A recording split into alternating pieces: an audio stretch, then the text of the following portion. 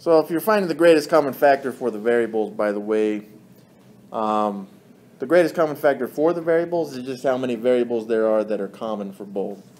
So if one term has four x's and the other one has two, the greatest common factor for the variable x would be two of the x's.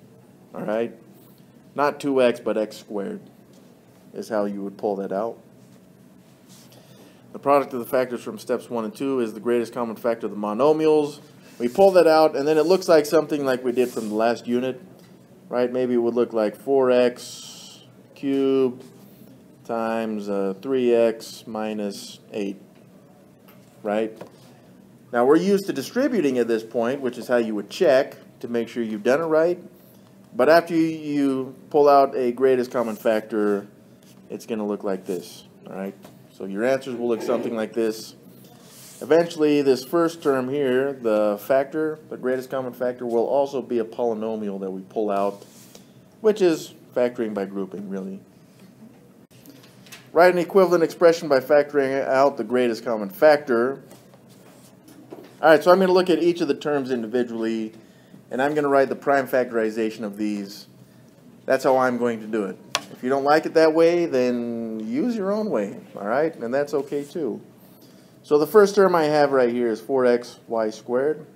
So I've got 4xy squared.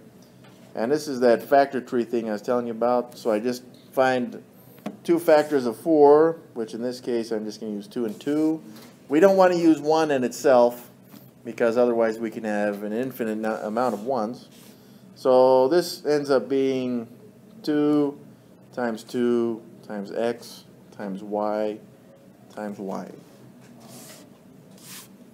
What this does is it helps me to see all the factors and it helps me to list them out so that if I find other common factors, I know what I'm pulling out of, well, the expression or what will be the parentheses, all right? So the next one is the 16xy cubed. 16 would split up into 8 and 2.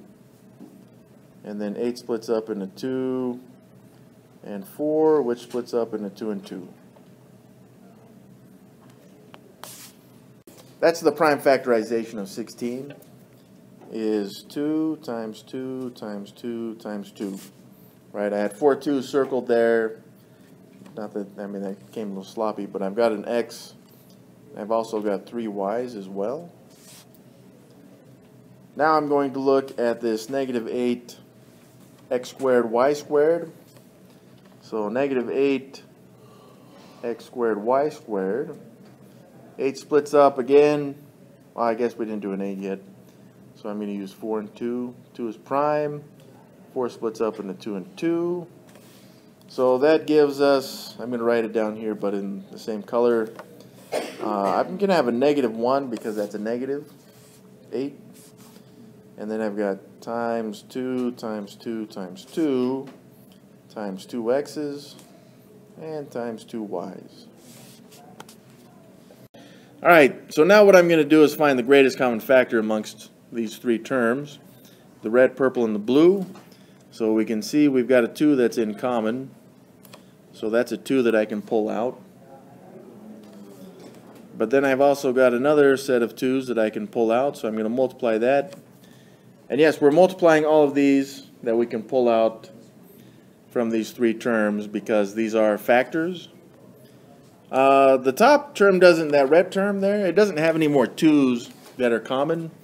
So even though right here we've got a purple and a blue 2 right there, sorry that looks like a Z. But even though we've got these two 2's, the third term doesn't have a 2, so there's it's not a common factor for the three terms. That's important to remember there. Now we've got this x with these other two x's. So I'm going to pull that out.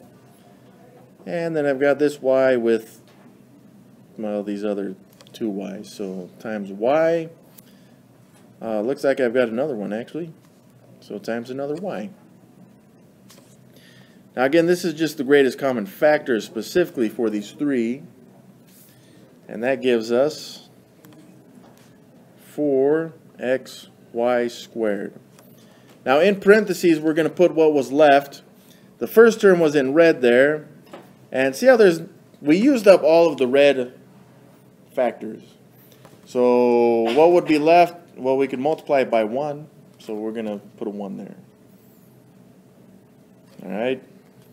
And then up here we see that it's added to the purple terms. All that's left there is the y. So I'm going to pull that, I'm going to keep that in the parentheses. Oh yeah, what the heck, it looks like it was boxed. Thank you. Uh, so 2 times 2 is 4. Good catch on that. And then the blue one, yes, we got this 2 and this x. So that's a 2x, which, uh, and the negative 1 if you want.